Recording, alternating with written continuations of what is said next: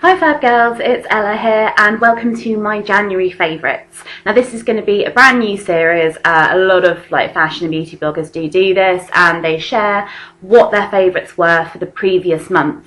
So for me that's going to include uh, beauty products, um, a couple of lifestyle things like TV programmes, songs, films, whatever. Anything that I've been particularly enjoying um, I am going to talk about. You'll have to excuse the way I look, I'm in my scrubs today. It's just, it's Saturday, get over it.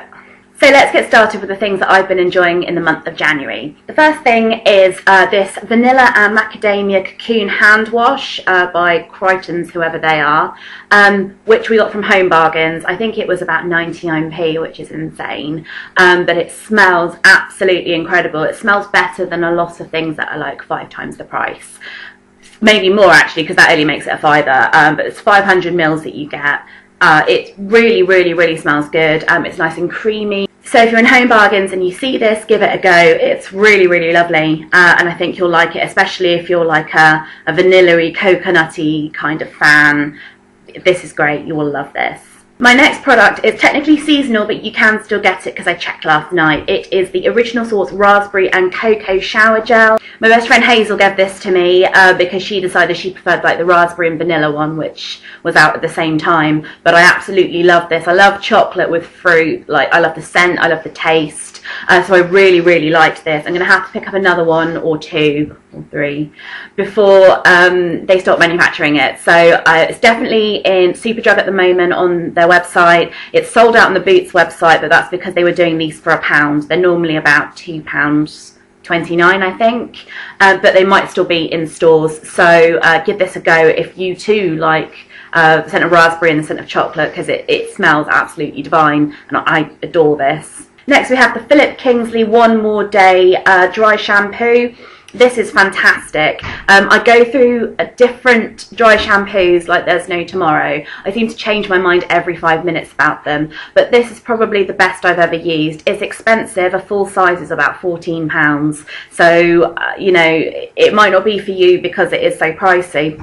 But I found that a lot of dry shampoos will leave your hair and your scalp feeling a little bit dry. This makes it feel super, super silky. This is obviously a trial size or a travel size. Uh, it's not the full size. I think I got this um, I know off eBay or in like my Birchbox or something like that. I am not sure, uh, but it leaves your hair so so silky, like you've just washed it, rather than dry and you know, just kind of like like all the oil sucked up if you know what I mean. So I'll probably be buying this again uh, just because it is so nice. Um, it leaves your hair smooth and lovely like no other dry shampoo I've ever used. So yeah, this is a real favourite of mine this month. My next pick is the 17 Blowout Volumized Tease Sculpt blah blah blah mascara.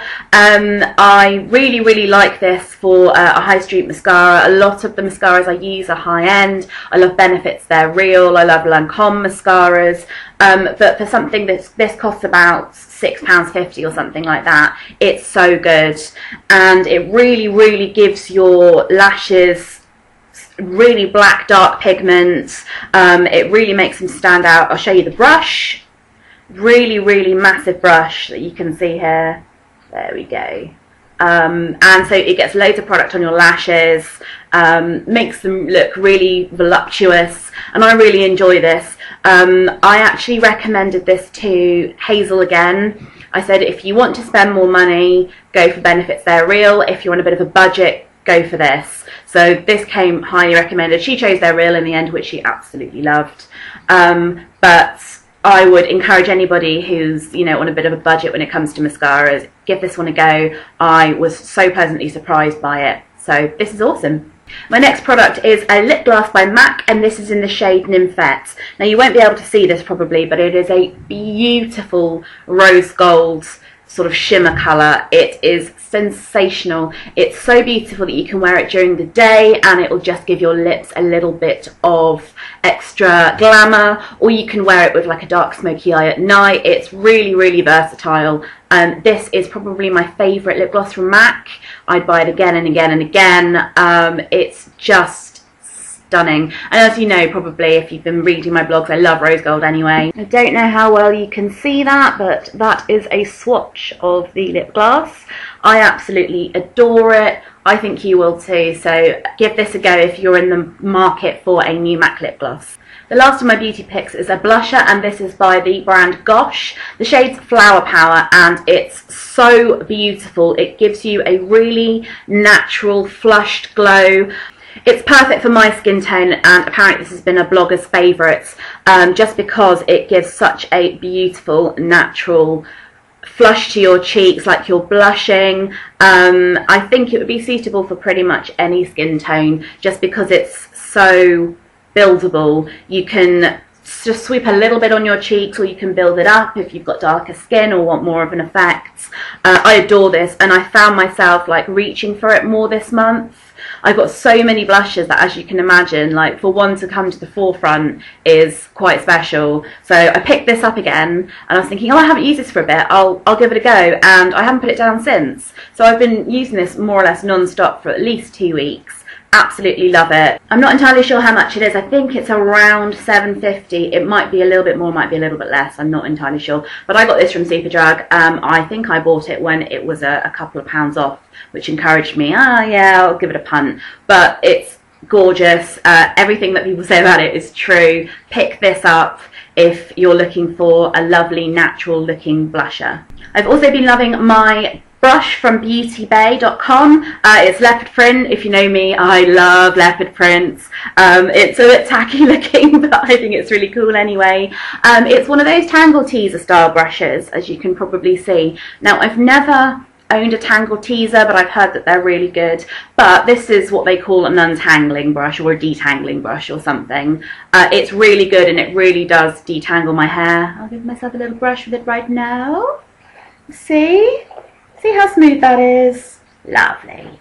So yeah, this is only a fiver. Um, I was in the market for a new hairbrush because my Body Shop hairbrush, which I've probably had for about 10 years, uh, is, is on its way out. I know that sounds ridiculous and disgusting, but I wash my brush every time I wash my hair. So I keep it clean, I keep it hygienic. And when you do that, if you've got a good quality hairbrush, it will last you years. But sadly, it's really on its way out. All the bristles are starting to fall out, so I'm just like, oh, I really need another hairbrush. So uh, when I was ordering some stuff for my mum from Beauty Bay at Christmas, I thought I'd give this a go, and I absolutely love it. I'd probably get um, a little handbag size one as well, um, and for the sake of a five, I'll probably get another one to put in like the bathroom or something. It's really, really good. It comes in just plain black, uh, purple, just a variety of different shades, hot pink I think.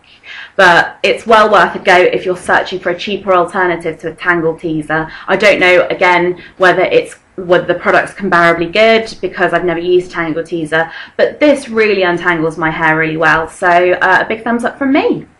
Moving on to the other bits and bobs that I've really been enjoying for January. Uh, one of them is my phone case. Now I've got a Samsung Galaxy Note 2. It's a ye oldie phone, but I absolutely love it because it does everything I want it to do. Uh, it still works after nearly two years, which is rare these days.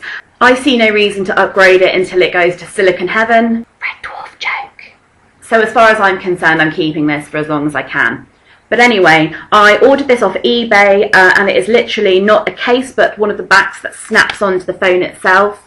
Um, I'll link it below because while you might not have the same phone as me, I have a feeling that you could just select which phone that you actually had. So if you've got one of those compatible phones, you can get uh, the one that's there. It's a really beautiful, um, just simple picture. It's a girl in a beautiful dress, lovely hair. Um, I just fell in love with it when I saw it, and it's even nicer in real life. So I've really been enjoying this, and I haven't put anything else on it since uh, I got this cover. So this is definitely one of my favourites for the month.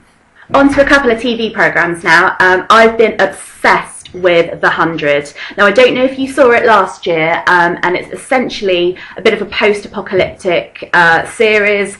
These people live on a spaceship called the Ark, which is deteriorating. They're running out of oxygen, so they send a hundred uh, teenagers down to Earth. So essentially, I think there was some sort of nuclear war a few hundred years ago, and they're sending these kids down to check whether the radiation levels are safe for them to actually go back to Earth and inhabit it. So last year, which was season one, was just really, really, really good anyway. It was a kind of Lord of the Flies meets the Hunger Games, I suppose.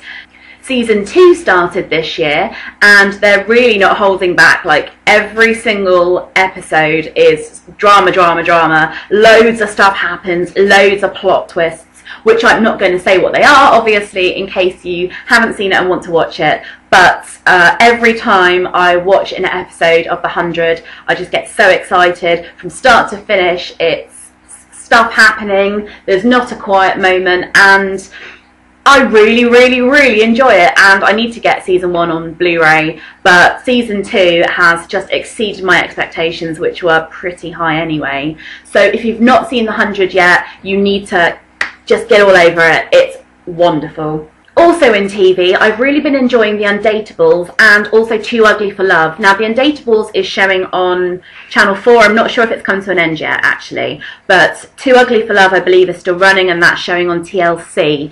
Now, if you've been living under a rock and you've not seen The Undateables, it's essentially about um, people who have learning difficulties or autism, Asperger's, anything like that, who find it difficult to meet people, um, and they uh, they go to introduction agencies and things like that, and we see them go on dates. Uh, and it's basically following them in their quest for love. It's one of the most heartwarming things I've ever seen. It's so so sweet, and all these people they like they tend to be so lovely, and like you sit there and go, oh, I'd really like to go out with this person because they're just so nice which is fantastic. Um, some people, I think, when it first started, have said, "Oh, it's exploitation," blah blah blah. It's not at all. It's completely empowering, and it's just really good fun to watch them go on their dates. They're so sweet. In the same vein, Too Ugly for Love is something very similar, where they get set up on dates and everything. Uh, but these are people with physical defects. So you've got uh, a guy who um, only had one arm. I think there was a guy who only had one leg as well, or that will be coming up. Uh, there was a lady with alopecia. There was a lady that had excess sweating. And these are, again, really nice people uh, who found it really difficult to date because of the conditions that they have. And it follows them in their relationships and stuff. And again, it's so heartwarming. It's so sweet. And it's so nice to see these people being successful in dating and in relationships because it is difficult enough out there without having something extra to overcome. They're both well worth watching. I'll list down below the details of both of the shows. TLC, of course, you can only get on things like Virgin and Sky at the moment. And the last thing that I've been enjoying this month is a song, and it was a song that was released back in 2009, and you may or may not remember it, but it's a, a track called Perfect Exceeder, uh, and it's Mason versus Princess Superstar. Um, not only is the track absolutely hilarious and really, really catchy, but if you like gymnastics, then the video is a, a must watch because it's got loads of gymnasts with crazy makeup and doing cool moves. Uh, so I love, love, love that. I'll just play you a little snippet. One, two, three, four, ladies, if you want some, push it, watch me work it. I'm perfect. You get the idea, and if you know the song, then you'll obviously recognise it immediately. If you've never heard it before, you need to look it up. I will link below the video so you can watch the, the cool gymnast as well. Um, but I've been using this to work out to. I recently got my cross trainer mended. It was broken for well over a year. So that got mended and I've been going on it and I will listen to this time and time again because it's really quite motivational um, and it's about looking good and it's really catchy and fun and it's good fun to work out to. So I have been listening to this virtually exclusively while I've been working out. It's been awesome. So that's all for my monthly favourites for January. I'm going to try and end every favourites video with an inspirational quote. This one is from Steve Martin and it's, be so good they can't ignore you. Thanks for watching guys. Please take a moment to subscribe. It would really help me out. Uh, I'm on Facebook, I'm on Twitter, I'm on Instagram. I'll link them below. And of course, I'm always at fabulous Cheers guys. Bye!